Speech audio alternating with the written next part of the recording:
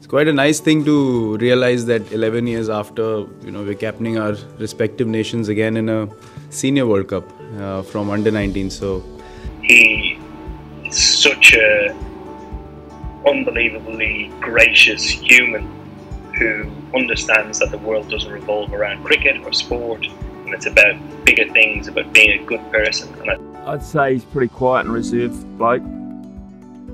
It's hard to get things out of Kane.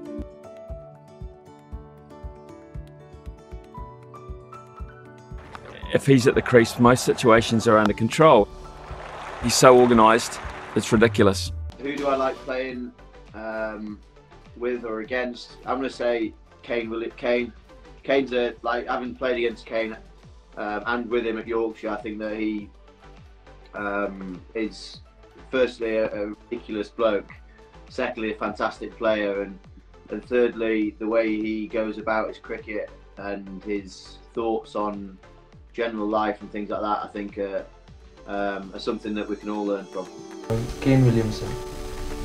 Calm. Quiet. Umber soft. Calm. Fun. Um, calmness. Kane Williamson at the presentation was brilliant. Kane Williamson, when he was told he was man of the series, ICC had the man of the series, and there's a great clip of it where the lady goes up to him and says, You're man of the series, and he mouths, Me? That just sums up Kane Williamson, the bloke, thinking there were 20 other cricketers that should have been man of the series. He did the press that evening, and he was so humble in defeat that all the press corps stood up and gave him a standing ovation. I got Kane's wicket. Did I? I don't know if that can happen again now. have good laughs. We didn't have a dartboard this time, so he couldn't couldn't beat me, um, which he always does. But he's always a gentleman on and off the field. I've got no other words to explain him, but a true gentleman.